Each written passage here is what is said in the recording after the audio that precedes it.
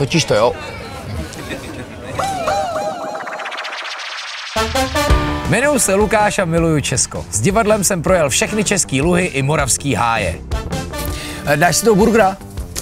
A mega mě baví sledovat, jak naše země dotahuje trendy, za kterými jsme dlouho museli jezdit do zahraničí.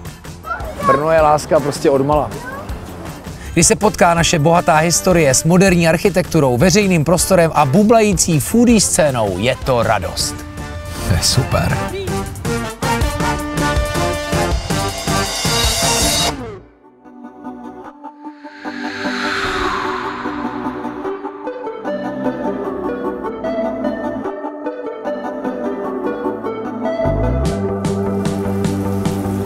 Poděbrady. Město, které je na srdce. Ano, tohle lázeňské město proslulo léčbou oběhové soustavy a minerálkou Poděbradka. Je tu také krásný zámek, nábřeží a jezero, kde je prostě fantastické koupání. Ale co gastronomie? Ta je přece pro srdce taky velmi důležitá. Pro mě byly Poděbrady vždycky takovou lázeňskou popelkou, ale v poslední době mě cvrnkla do nosu spousta nových podniků a ty mi jasně ukázali, jak tohle středočeské město žije. Často se jezdíme s mou rodinou a je nám tady vždycky hrozně dobře. A tak vám dneska moc rád ukážu kudy foodie.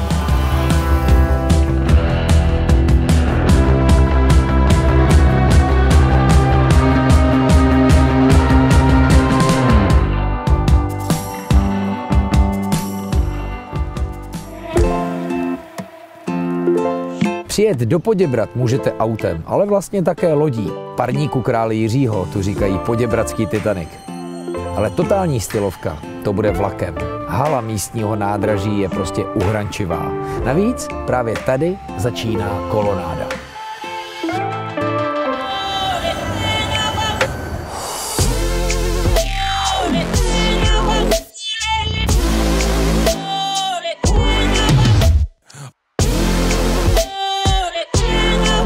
Na kolonádě najdete taky skvělé podniky. A začít můžeme třeba snídaní. Vilémovo pekařství nejen prodává dobré věci, ale prodává je tak hezky, že máte chuť koupit si prostě všechno. Jak domácí řemeslné pečivo, tak farmářské produkty z okolí. Můžete si dát něco dobrého, k tomu třeba kávu a posedět v doteku lázeňského parku. Tak já myslím, že mám vybráno. Jsi taky Matouši? Ty už jsi se naučil kývat kamerou. Vilémovo pekařství je navíc jeden ze čtyř podniků, za kterými tady na kolonádě stojí Tomáš Vrba a jeho gastroskupina La Place.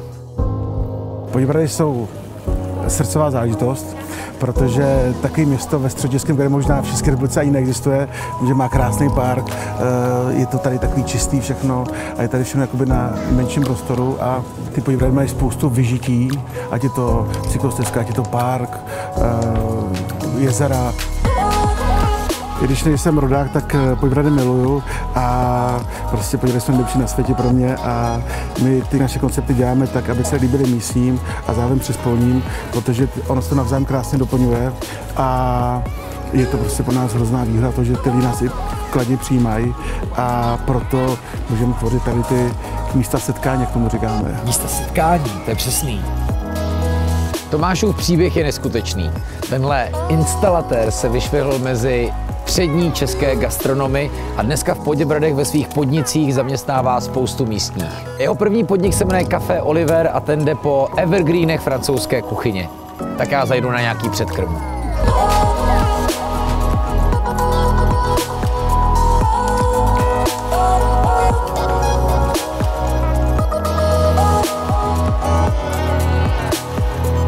Dneska má svátek Monika. Já jsem si právě objednal předkrm ratatouille. Říkám to dobře, Matouši, ty umíš? Ne. ratatouille.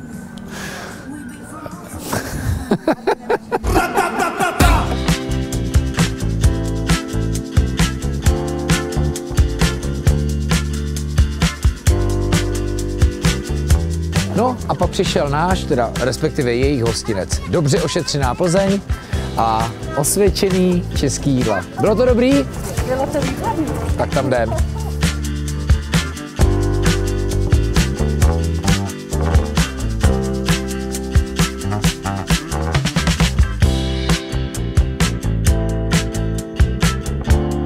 Napoleone, dal by si si ptáčka? Ty by si chtěla ptáčka?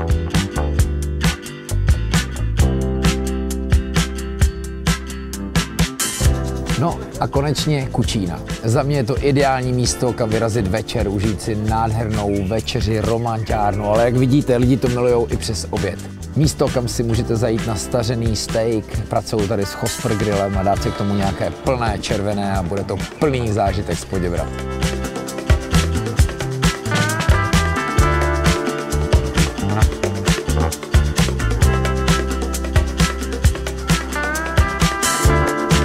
Takže jestli dneska Poděbradská kolonáda žije, podle mě je to zásluhou právě těchto čtyř podniků díky téhle síti, protože sem lidi chodí jíst, pít, žít.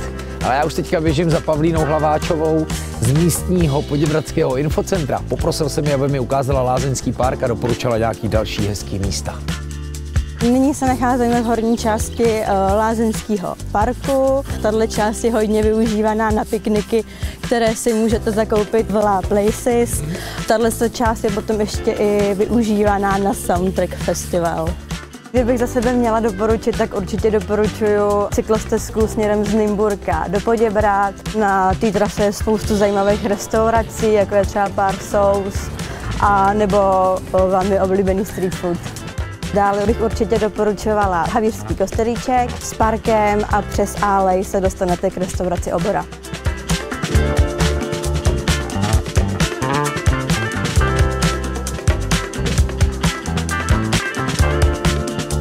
Poděbrady na srdce.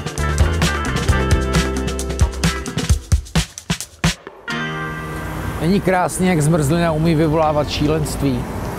Miluju šílenství. To by mě zajímalo, jak chutná ledové království. Citron bych vás poprosil. Vy máte ty domácí kornouty pečený? Děkuju vám. Dejte se, nashledanou, ať se daří.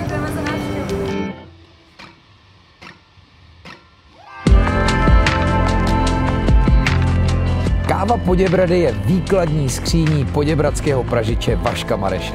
Zároveň také recepcí designového penzionu. A pak samozřejmě skvělým místem, kam zajít na kafe a něco sladkého. Číhejte na občasné branče.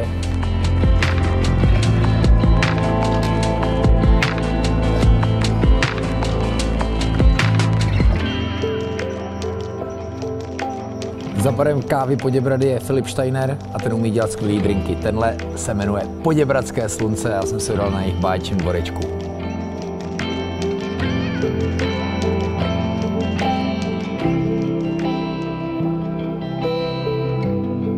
To se vlastně strašně hodilo, že jsme dostali typ na tohle místo, protože jsem se dozvěděl, že tady Kuba Parus, což je pojem v Poděbradech v gastronomii, má otevřený kiosek a Kuba umí báječně pracovat nejenom s masem,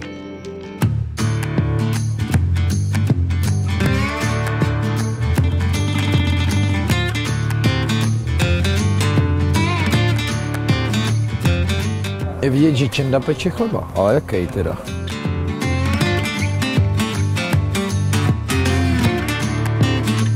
Jsem to chtěl jako mít jako svačinku. to je velký jako Kuba, ale fakt.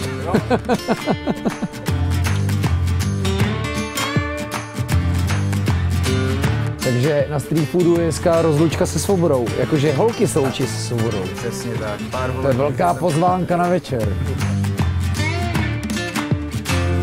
Jo, počasí nám to trošku zkomplikovalo v Poděbradech. Normálně prý by byl tady na té cyklostezce Nymburk a soutok Hlaby a Cidliny totální masakr. Stejně jako u street foodu Poděbrady, kam teďka jdu a bojím se, že tam vůbec nikdo nebude.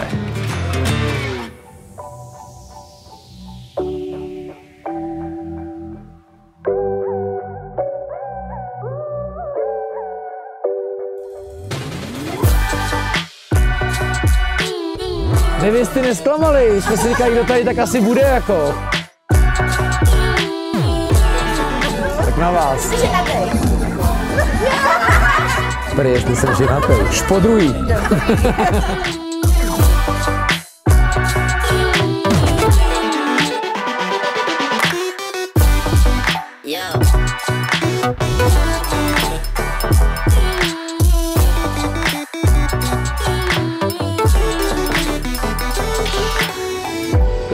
Poděbrady jsou fakt dobrý na srdce. A to nemusíte ani projít léčebnou kůrou. Stačí, když máte rádi gastro, městský život a takový ten rostomilý lázeňský vibe. Je tu ještě řada kaváren a restaurací, které jsme si neukázali, stejně jako spousta míst, kam se můžete podívat nebo kde se můžete zašít. Tak vyražte klidně už zítra.